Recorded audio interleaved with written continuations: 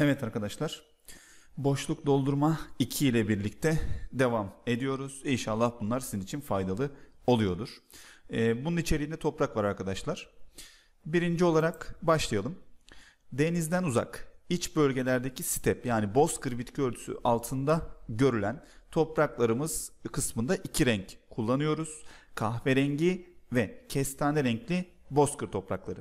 Bu topraklarda yağış miktarı az ki yağış miktarının az olduğu yerlerde yıkanma az, toprak yüzeyinde tuz ve kireç birikimi daha fazla olmaktadır. Bunun yanında bozkır dediğimiz bitki örtüsünün olduğu alanlarda özellikle humus yönünden fakir toprakları görmek mümkündür. Türkiye'de daha çok baktığımızda iç bölgelerde işte İç Anadolu, e, bunun dışında Doğu Anadolu'nun alçak kesimleri gibi iç kesimlerde bu toprakları görebiliyoruz. Evet diğer toprağımız Akdeniz iklimi olacak. Kalker, kireç taşı üzerinde gelişme gösteren terrarosa, kırmızı renkli topraklar. Ki bunun kırmızı renkte olmasının sebebi içerisindeki demir oksit. Ki demirin paslanması sonucu kızıl ya da kırmızı renk aldığını biliyoruz. İşte o yüzden rengi kırmızı oluyor. Organik madde yönünden fakir ve kireç yönünden zengin. Çünkü az önce söylediğimiz kalker kireç taşını ifade etmekte. Hem Akdeniz iklimi olacak hem kalkerli arazilerin bulunması gerekiyor. Evet diğer toprağımız Kuzey Anadolu dağları yani Karadeniz kısmını Yine Marmara e, Denizi'nin kuzey kısımları olsun, dağlık e, alanlarda olsun, yaprağını döken e, ağaçların oluşturduğu ormanlarda görülen toprağımız kahverengi orman toprakları. Humus yönünden zengin. Çünkü bunlar geniş yapraklı ormanlar ve yaprağını döküyorlar. E, buna bağlı olarak e, ormanların altında bir birikim ki o e, süngerimsi yapı dediğimiz koyu katman özellikle humus oluyor.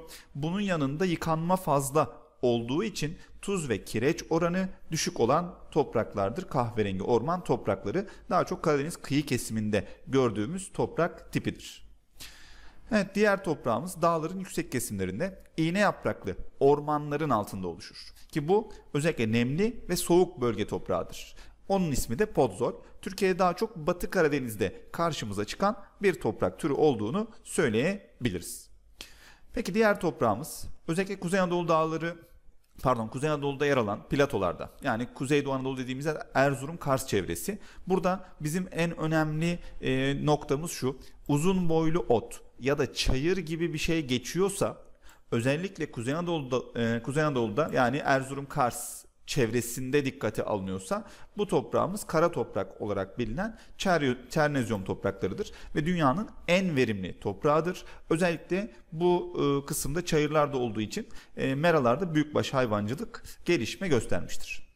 Evet, Tuz Gölü çevresinde tuz bakımından zengin e, çorak topraklar olarak da nitelendirdiğimiz tuzlu topraklar daha çok bulunmakta. Tabi bu tuzlu e, toprakları biz daha çok kıyılarda özellikle e, deniz su seviyesinin e, taban su seviyesine karışmasıyla birlikte de kıyı kesiminde deltaların olduğu yerlerde görebiliyoruz.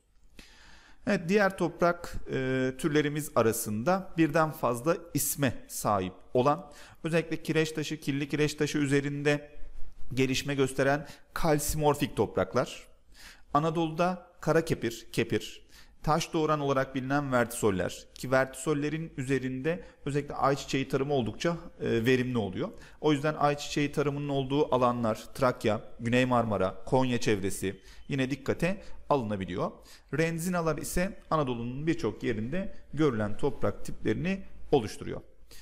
Evet diğer toprak tipimiz taban su seviyesinin yüksek olduğu alanlarda hidromorfik topraklar özellikle Çukurova, Büyük Menderes, Çarşamba gibi alanlarda dikkate alınabiliyor. Ya da iç bölgelerde drenajın e, iyi olmadığı bataklıklarda oluşabiliyor. Bunun yanında akarsuların taşıdığı topraklara biz alüvyal topraklar diyoruz. Mineral yönünden zengin bir toprak türü. Bunun yanında tarım için oldukça elverişli. Kıyı ovalarında ilk etapta olmak üzere e, daha çok görüldüğünü söyleyebiliriz. Deltalarda bunların içerisinde en önemlileri. Peki diğer toprağımız volkanik arazilerde akarsuyun taşıdığı kumlu depolar üzerinde oluşmuş topraklardır. Ki e, bu topraklarımız regosoller, patates ve soğan tarımı için oldukça elverişli toprak tipleri arasında yerini almaktadır. Daha çok özellikle Nevşehir ya da e, baktığımızda Niğde, tabi Türkiye'de patates tarımıyla ön plana çıkan e, iller bazında birinci sırada Niğde geliyor. Evet diğer toprağımız özellikle kolüvyal topraklar dağlık engebeli alanlarda yamaçlarda daha çok oluşuyor. Bunun yanında e, yine litosol ya da taşlı topraklar Türkiye'de görülen diğer toprak tip- tipleri arasında sayılabilir. Evet burada bir etkinliğimiz var. Haritada eşleştireceğiz. Bunlara bakalım. Çernozyom dediğimizde Erzurum Kars ya da Kuzeydoğu Anadolu kısmı dikkate alınıyor. 5 numarayla gösterilmiş. Terrarossa deyince aklımıza ilk olarak Teke Taşeli, tabi bunun dışında Menteşe, e, Akdeniz iklimi artık kalkerli araziler geliyor. Terrarossaları mesela bu haritamızda 7 numaralı alanda görebiliriz. Kahverengi orman toprakları daha çok Karadeniz kıyı kesimi özellikle 4'te görebiliriz.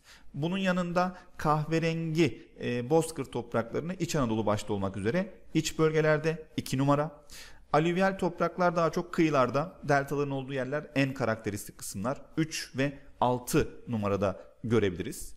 E, daha çok ormancılığın yapıldığı, tabi yine e, baktığımızda Batı Karadeniz Türkiye'de ormancılık bakımından birinci sırada geliyor. Bir numaralı alan.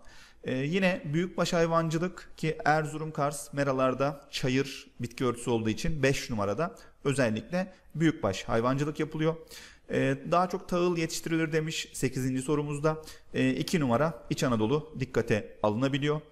Kaç numaralı alanda daha çok çay yetiştirilir demiş. Çay özellikle asit oranı yüksek yıkanmış toprakları sevdiği için 4 numaralı alanda daha çok karşımıza ya da o alan için e, karşımıza çıkan en önemli tarım ürünleri arasında sayılabiliyor.